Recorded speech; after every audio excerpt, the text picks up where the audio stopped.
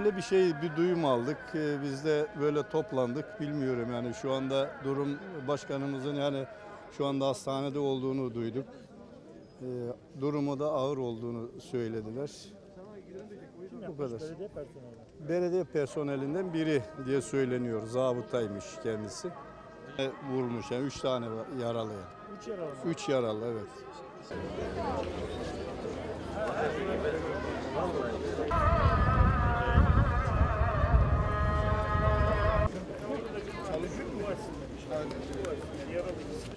Nasıl vurulmuş? Başkanın yanın tam olarak nasıl vurulduğunu bilemiyorum ama işte duyumlar kafasına sıkılmış. Yanında şoförü vurulmuş. Şoförü karnında vurmuş.